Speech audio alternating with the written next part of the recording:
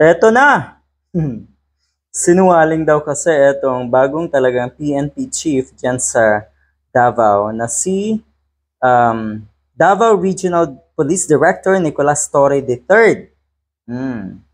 Sinungaling daw kasi. Ang tinutukoy dito na itong si Duterte, si uh, Baste Duterte, ay kuno nga yung inilabas na itong si Torre, ni General Torre, na dalawang logbook sa bawat presinto dyan sa Davao. Yung isa ay yung totoong logbook at yung isa naman ay sanitized. Ano kasi ang intensyon? Ito ba uso na dati? Parang hindi naman. Ano ho? Sa Davao lang ito talaga. Napaka-special talaga ng Davao. Ano? Marami tayong madidiscovery na kakaiba sa Davao.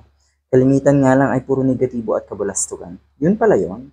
Pero bakit kasi ang impression na gustong i-project na itong mga taga Davao uh, sa pamumuno ng mga leaders na mga Duterte nga kuno ay safest city, kuno ay most progressive, kuno ay cleanest city at kung ano-ano pa. Yun pala ay kabaliktaran, 40% kayong mga taga Davao. Hindi po ba kayo nahihiya?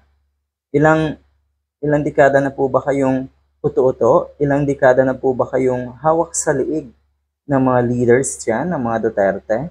Diyos ko na, nakakapanliit Diba? Yung ganong sitwasyon na namumuhay kayo sa lugar na eh, parang North Korea. Yun yung naisip ko agad eh. Ang gustong, um, or siguro itong mga taga Davao hindi alam kung ano yung totoong progress. Kasi confined sila sa Davao. Ang pagkakaalam nila lang talaga ay Davao lang. Nakatuon sila doon. Eh, sa bagay, may social media naman. Ano ho? Pero ang nakikita lang kasi nila sa social media, ay yung mga propaganda nga ng kanilang mga leaders. Talagang kawawa.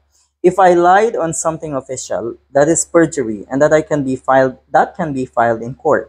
He can file a case against me since that's a criminal offense. O, di ba hinamon ka ngayon na nung si Tore? Hmm, medyo may dating yung sinabi niya, kasuhan niyo ako dahil criminal offense yan.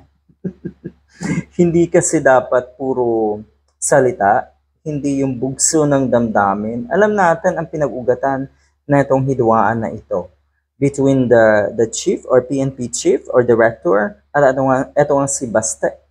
Hmm. Alam naman siguro natin kung ano ho. Ayaw nilang mabisto. Hindi kasi hindi kasi kayang hawakan sa liig itong bagong uh, regional director na ito.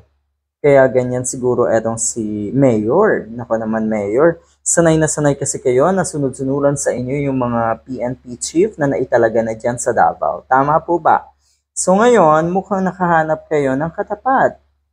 Sabi ni uh, Director Torre, he can even ask his father na pwede nga talagang kasuhan kung kung merong kung merong uh, ebidensya na siya ay nagsinungaling on something official. Ito si Tore. Ang galing, no? Ang galing ng banat ni Tore. So, good luck. Ano bang mangyayari? Kakasuhan ba nito si uh, Duterte, nitong batang Duterte, itong, uh, itong uh, si Direktor?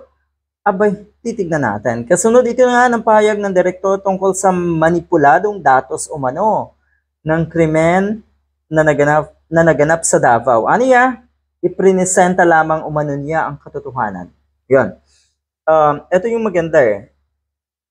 Hindi kasi kayang hawakan sa leeg itong bagong talagang regional director na ito ng PNP.